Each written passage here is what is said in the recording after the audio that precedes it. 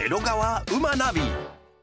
Hi, everybody, I'm Daniel Kahl. Today we're gonna go get some Japanese soul food. You remember what it is? It's called ramen. There are many different kinds of ramen, of course, in Japan, and the place we're going to today specializes in so-called tonkotsu ramen. The name of the place we're gonna visit is Sakutaya.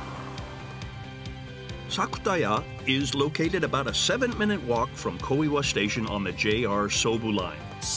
Nearby, you can stroll along a beautiful nature path which features a stream. Also, in Koiwa Park, you can visit Kowate, a section of the park featuring traditional Japanese buildings which can be rented out for special events. Ah, this has got to be it here. Yeah, this looks like a ramen place. So let's go inside. Oh, this is kind of cool. This is a kind of a more modern looking ramen shop.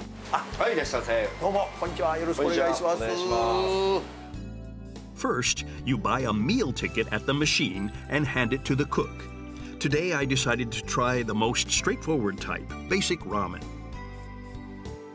The proprietor of this shop, Mr. Sakuta, spent 10 years learning his skills at a famous branch of the Yokohama Ie-kei ramen chain before going out on his own.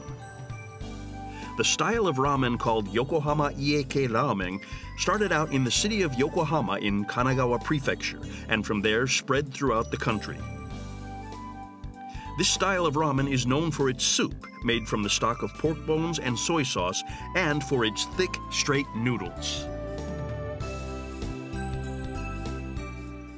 Oh,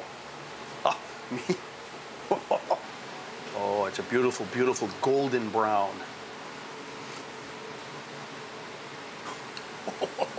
うめ うめこれ。こってりとあっさりのちょうど中間。そうですね。なんか中庸の道を歩んでるみたいな感じやな、ああいいですね。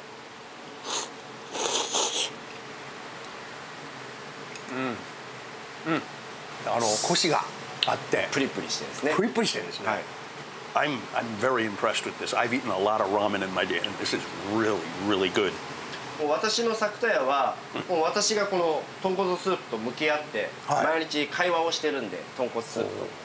え鍋と鍋と会話がで開けるときるんですかはいあ今美味しいかいっつうと「うんなかなか美味しいよ」って言うとそれがわかる職それが職人なんです The soup is made using a method called yobi modoshi. Newly made soup is blended into existing soup. That way, the soup is constantly replenished.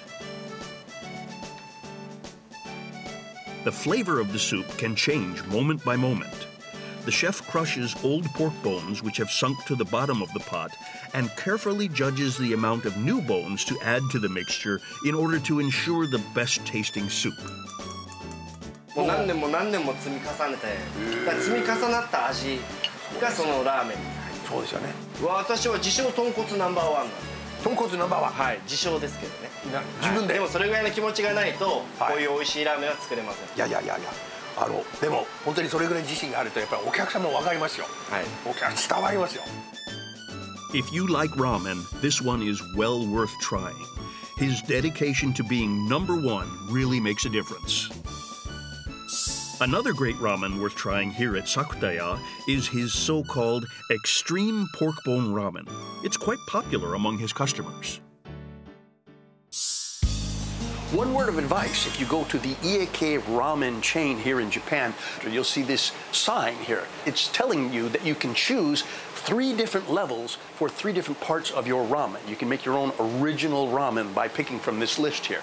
You have the the firmness of the noodles, then you have the strength of the soup, and then you have the amount of extra oil added, which is also at three levels. So pick and choose between those three parts of your ramen and make your own original and have a great time. You know, here in Japan, ramen cooks are kind of thought to be craftsmen. I was watching Mr. Sakuta, and he really is, he's not just a craftsman, he's an artist. I mean, he spent many, many years perfecting his skills, and you can, you can tell by the way he moves, and of course, he has full confidence in his ramen when he's talking to you. And that confidence, I think, is what makes the ramen here that much better and so tasty. The operating hours for Sakutaya are as shown here.